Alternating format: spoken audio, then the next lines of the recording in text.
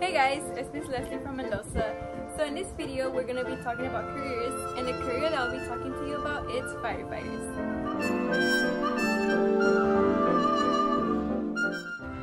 So what are firefighters? Who are they? Firefighters are the people who turn out the fires. They protect us, the people, and also the animals. They help us when car wrecks, when building collapse, when elevators get stuck, and other emergencies.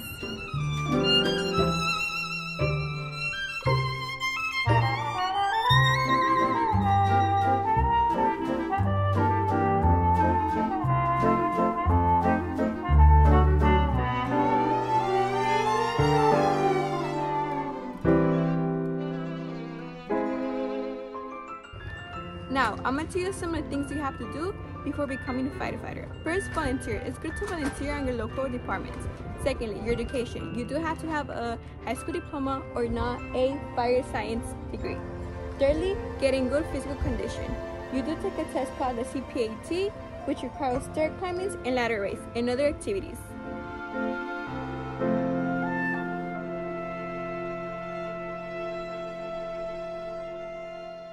Now, if you guys want to be a firefighter for a day, I'm going to show you guys an activity you guys can try at home.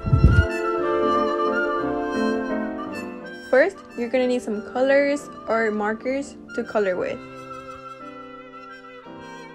You are also going to need some scissors, some tape,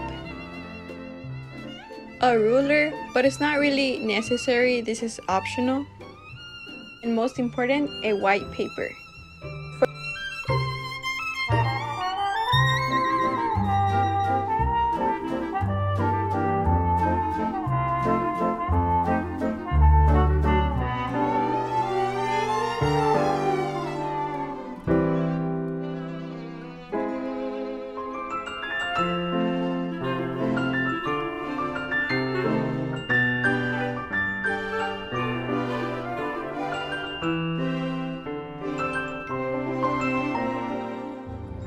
For the second part of the activity, you're gonna need some shaving cream, something to spray water with, which I have this, uh, which you can get this at any store like 99 cents or Walmart.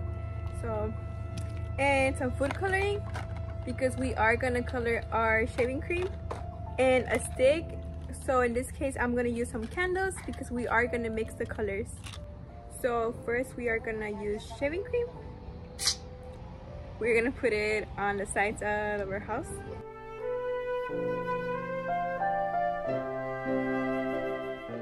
Now we're gonna be using some food coloring and the first color we're gonna be using is gonna be red.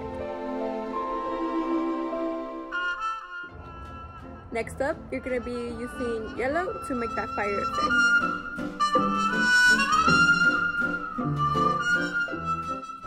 as I mentioned, now you guys are gonna be needing a stick, you guys can use a spoon, you guys need something to mix up the colors in the shaving cream, and I'll be using this candle.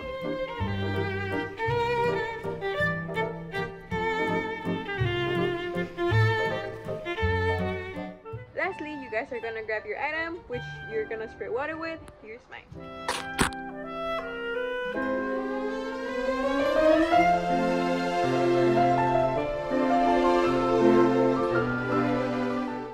Now I'm gonna give you some tips on how to prevent fires at your home. Starting with the smoke alarm, it's very important to check it and to make sure that it's working. On the smoke alarm, you should have a circle in the middle. Press it. If the sound is weak, that means that it needs new batteries. Secondly, your stove and oven. Make sure these items are clean. Some of the forgotten food particles can cause fire. Also, do not have curtains nearby.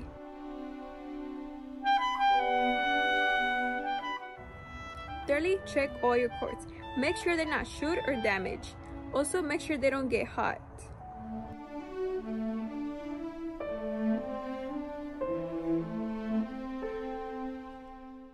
Next up, candles. Make sure the candles are far away from curtains, your bed, your clothing. These type of items can make up a fire.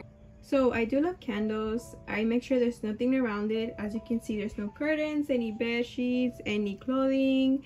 If I feel like I'm falling asleep, I make sure to turn it off to prevent fires. Lastly, it's always good to have fire extinguisher around your house, just for emergencies.